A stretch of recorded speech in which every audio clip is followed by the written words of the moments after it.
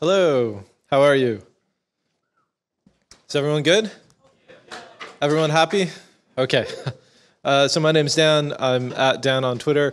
I like to make things that are interesting.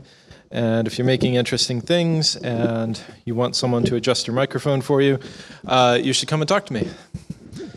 So I'm super happy to be here at PyCon 2015. It is 2015. It is, yes. Um, talking about RPython and PyPy and languages and interpreters and turtles and maybe some other things. Uh, I have 10 minutes to talk about that, uh, but first I have to tell you what a meta tracing JIT framework is because that's what I really want to talk about. So RPython is restricted Python, not R in Python. As someone pointed out earlier to me today, that's a really easy mistake to make. Don't make that. Um, so we have a restricted form of Python, and we're going to use it to make an interpreter for a language, and then we're going to do some magical things with it. Uh, so I need a little bit of time to tell you about that, and then, but before I can do that, I have to tell you what a tracing JIT is uh, because we're going to make one of those. And then before I can do that, I have to tell you what a just-in-time compiler is. And then I have to tell you about uh, a compiler, and then I have to tell you about an interpreter. So that's a lot to get through. And I've got a demo. So hopefully that all adds up to about 10 minutes, which is how long I have to talk to, uh, except it doesn't. Not even close. Okay, so this is an interpreter uh, for a language that will henceforth be known as brain fudge. You may recognize the language and have heard it called something else, but that's its name from now on. Okay, so an interpreter is really, it can be a really small, simple thing. This is literally the entire thing, right? This is the while loop of the interpreter, and it calls out to a couple of functions, and those take another page or two of code. It's tiny, right? So interpreters are really easy to write, and we like writing interpreters for new languages because we can get into it immediately. But there's a problem. Uh, that we'll see in a minute. Okay, so here's our, our language. We have some code in the language, and then we're going to translate that into an AST, which is like a tree shape that represents the tree structure of our language.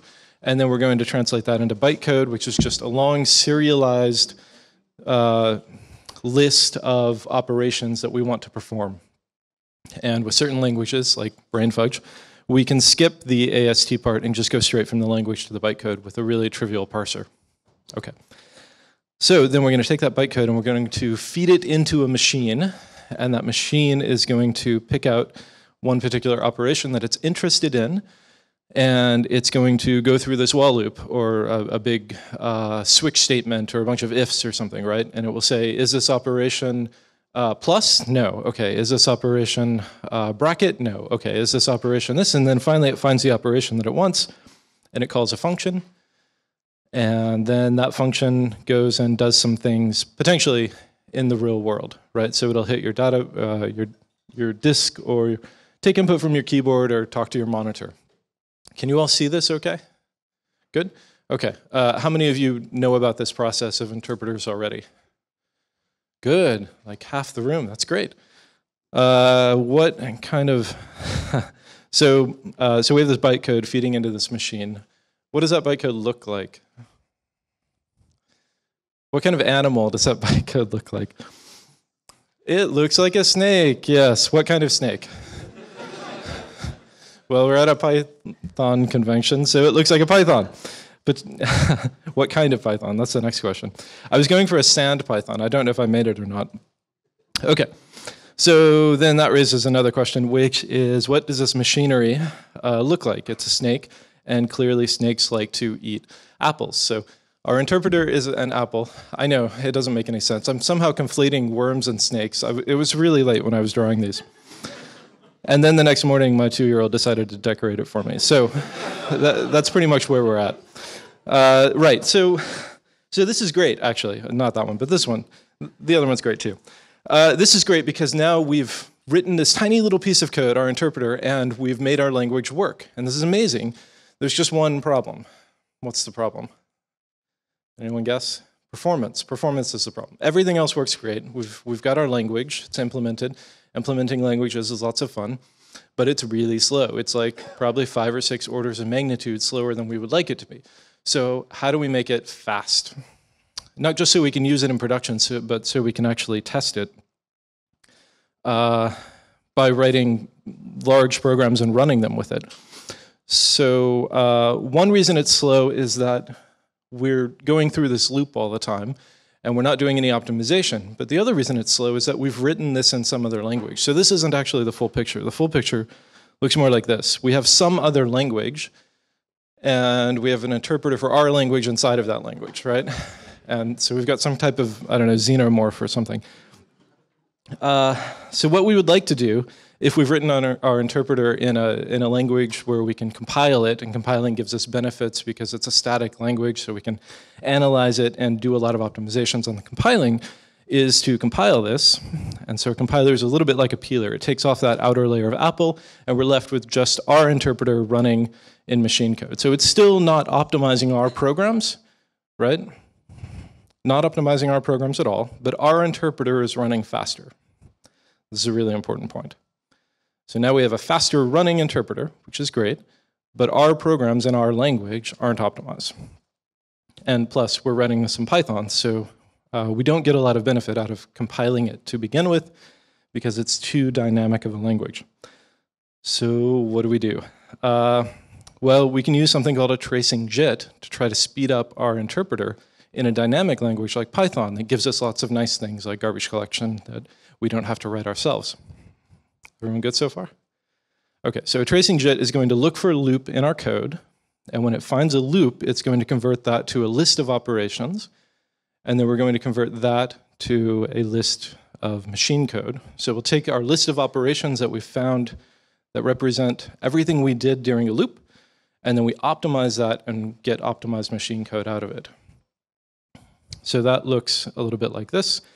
We take our JITting, our just-in-time compiler, and apply it to our snake in a snake, and we get back out, we get back out two pictures of the same thing.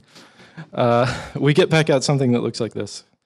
Uh, but importantly, uh, you know, whether we're running this on PyPy or LuaJIT or any of these nice dynamic runtimes that have tracing JITs, uh, we still have our interpreter in the host language, and then our interpreter is also in the machine code, right? Uh, right, does anyone know what mathematicians call this particular arrow that goes from one type of thing to a similar type of thing? Oh dear. Did someone say morphism? Right, so this is a morphism, and in particular, this is a, uh, the technical term for this is a morphism because it goes from snakes to snakes. So it's an endomorphism in the category of snakes. That was just for you, Ben, sorry. Okay, uh, so we can also do this another way, right? So we've covered two ways so far, or three ways, I guess. We can write an interpreter and run it in an interpreted language. We can compile it we can run it on a runtime that has a tracing JIT, but we can also use this thing called staged metaprogramming, which is really cool. Uh, so in, for example, something like meta OCaml, uh, we can decorate our interpreter a little bit. Uh, we could, in something like uh, lightweight modular staging in Scala, we would decorate the types a little bit. And then from these decorations, we kind of at runtime melt the interpreter away and get this really nice uh, kind of optimized thing. The problem is these systems aren't really optimized for language development, they're general purpose, and so they don't really optimize our interpreter in the way that we would like. They're better because they melt away the cost of that while loop and the cost of that switch statement, but they're not great.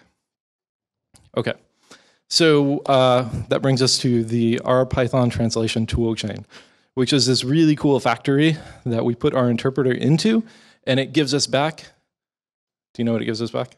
Maybe you know already. It gives us back a compiler, in particular a just-in-time compiler that we can use to go from our language, in this case a snake language, to machine code.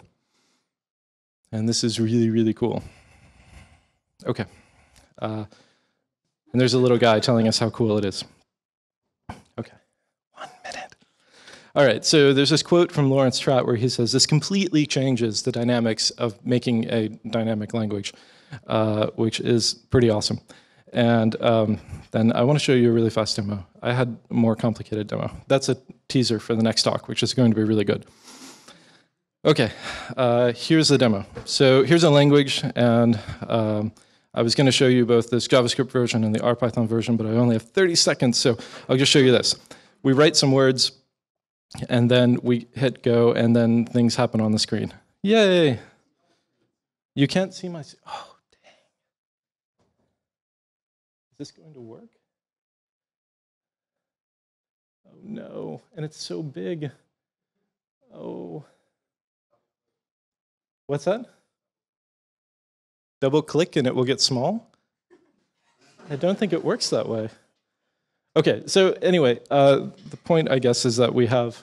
Oh, uh, okay, so I have to stop, but um, I, I, wanted to show you a language for uh, making quantum snakes. So I wrote a language that would play snake for me, and then I wrote other programs, and then it's multiplayer snake.